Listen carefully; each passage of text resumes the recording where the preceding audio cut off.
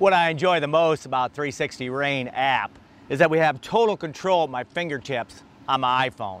I went home last night and told my wife Cindy, it was so much fun to start a rain unit the first day of nitrogen and just be able to plug in exactly what I wanted. So I was looking for 40 units of N.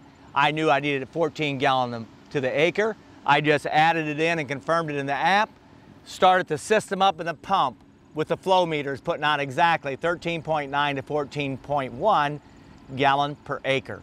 And so it's exciting to have the ease. Yes, when I wake up in the middle of the night, I always like to look at my app and see exactly where all the different rain machines are on our operation.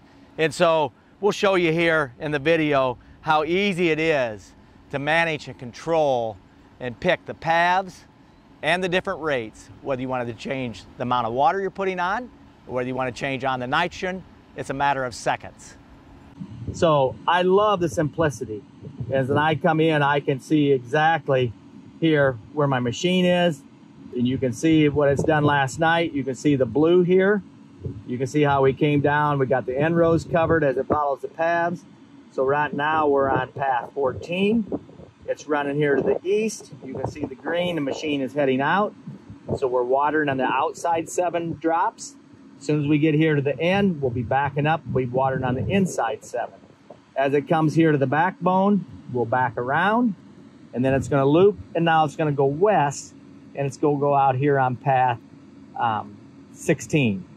And so this is just something that I have total control. I can see all my liquids.